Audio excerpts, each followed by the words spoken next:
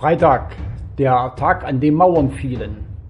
Der elfte Tag im Monat Mai war der Tag, an dem in Kaliningrad mehrere Mauern fielen.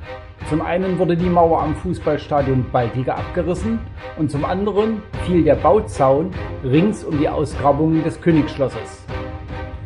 Man muss in der Vergangenheit schon einige Geheimorte kennen, um Film- und Fotoaufnahmen von den Ausgrabungen des Königsschlosses im Kaliningrader Stadtzentrum machen zu können.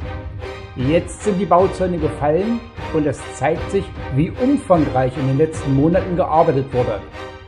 Es zeigt sich aber auch, wie viel Arbeit noch bevorsteht. Und bis zur Fußballweltmeisterschaft verbleiben nur noch wenige Tage. Noch ist kein freier Besuch der Baustelle möglich, aber wer sich einen Überblick verschaffen will, kann dies trotzdem aus einer geringen Entfernung tun.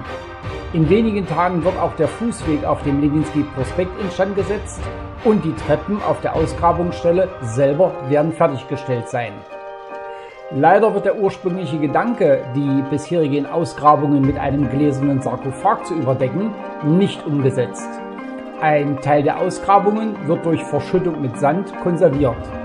Weitere Pläne sind nicht bekannt.